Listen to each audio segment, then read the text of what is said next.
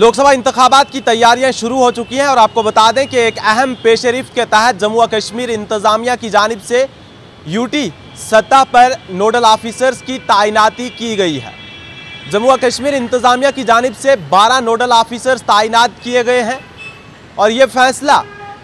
Election commission of India की हिदायत के बाद लिया गया इलेक्शन कमीशन ऑफ इंडिया की हिदायत के बाद ही इन बारह नोडल ऑफिसर्स को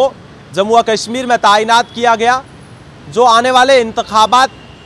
के जो जो आने वाले इंतबात के लिए जो है वो हर एक मसले को देखेंगे हर एक मैटर को देखेंगे आपको बता दें कि जो आप नोडल ऑफिसर्स तैनात किए गए हैं इनमें administrative secretary Jal Shakti department administrative secretary housing and urban development department administrative secretary power development department administrative secretary works public works department Administrative Secretary, School Education Department, Administrative Secretary, Social Welfare Department, Commissioner, Sale Tax, Managing Director, J&K Regional Transport Corporation, Commissioner, Exercise Department, Relief and Rehabilitation Commissioner, Chairman and Chief Executive Officer, J&K Bank Limited, Banks and Financial Institutions, and Chairman and Chief Executive Officer, J&K Bank Limited. ये जो है 12 nodal officer Jammu और कश्मीर में तैनात किए गए हैं ताकि आने वाले वक्त में इंतबात का जो लोकसभा इंतबात होने वाले हैं इन लोकसभा इंतबात के इनका के लिए जो है ये हर एक मसले को देखें और आपको बता दें कि जब 2018 में यहाँ पर लोकसभा इंतबात हुए थे तो उस वक्त एनसी और बीजेपी ने बीजेपी ने यहाँ पर जो है वो तीन तीन मेंबर पार्लियामेंट्स की सीट्स जो है वो जीती थी लेकिन अब 2024 में जिस तरह से लोकसभा इंतबात होने जा रहे हैं तो इन लोकसभा इंतबात में लोग किसे वोट करते हैं किसे लोग जो है अपना ये कीमती वोट देकर सत्ता में बिठाते हैं क्योंकि इससे पहले अगर हम बात करें एनसी के तीन मेंबर पार्लियामेंट थे बीजेपी के तीन मेंबर पार्लियामेंट थे लेकिन लगातार बीजेपी के मेंबर पार्लियामेंट्स पर ये सवाल उठाए जा रहे हैं कि आखिरकार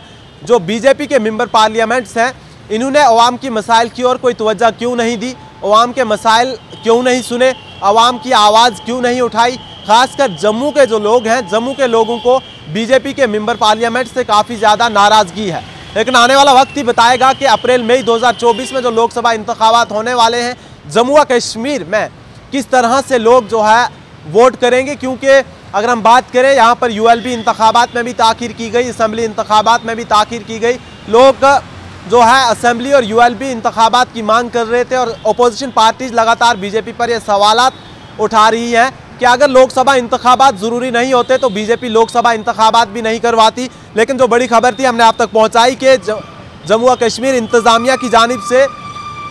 आने वाले वक्त में जो लोकसभा इंतबात होने वाले हैं उनके लिए 12 नोडल ऑफिसर्स को तैनात किया गया है और ये नोडल ऑफिसर्स तैनात करने का मकसद ये है कि स्मूथ तरीके से जो है वो इलेक्शंस कंडक्ट करवाए जाएं और ये अलग अलग एरियाज़ में लोगों के इश्यूज़ देखें अलग अलग एरियाज़ में जाकर जो है लोगों के मसाइल देखें और पूरे स्मूथ तरीके से जो है यानी हमवार तरीके से जो है 2024 के लोकसभा इंतबात हों बहरहाल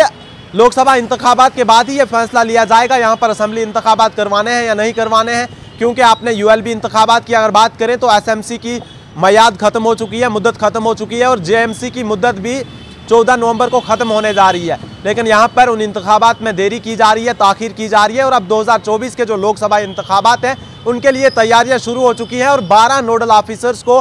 यूटी सतह पर जो है वो तैनात कर दिया गया है बहरहाल आप लोगों की क्या कुछ राय है आप अपनी राय कॉमेंट सेक्शन में ज़रूर दीजिएगा